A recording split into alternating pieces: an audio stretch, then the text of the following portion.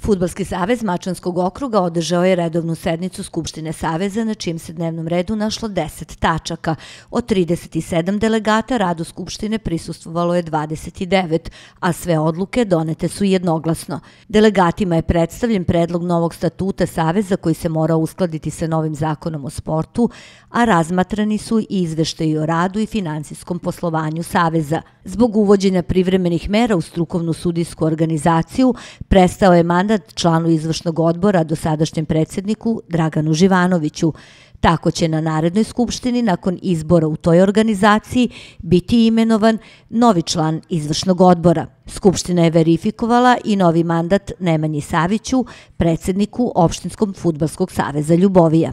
Bilo je prisutno 29 delegata od 37, e, tako da je Skupština imala sve uslove za nesmetani rad, e, usvojen je e, završni račun, usvojen je završni račun, usvojen je finansijski izveštaj i ona tačka najvažnija dnevnog reda koja je bila, to je da je usvojen statut u skladu sa izmenama prilagođen Futbolskom statutu Futbolskog saveza Zapadne Srbije, Futbolskog saveza Srbije i usaglašen sa zakonom o sportu.